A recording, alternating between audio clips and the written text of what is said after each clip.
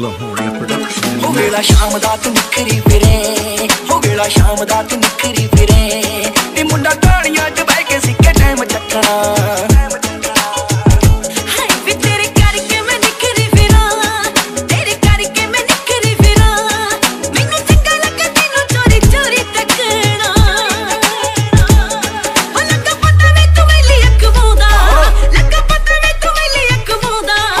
ਅੱਗੇ ਬੋਲਦਾ ਹੀ ਨਹੀਂ। ਪਿੰਡ ਰੌਲਿਆਂ 'ਚ ਪਹਿਲਾਂ ਨਾਮ ਆਉਂਦਾ।